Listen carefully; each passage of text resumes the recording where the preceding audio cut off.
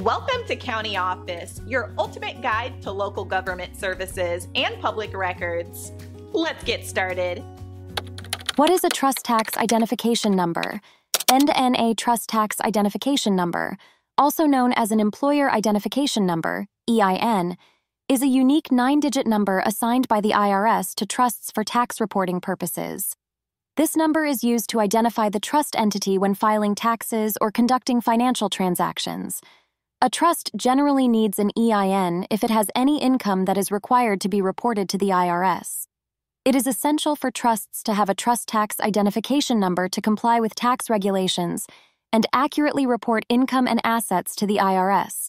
Trusts can apply for an EIN online through the IRS website or by submitting Form SS 4 via mail or fax, and SEN.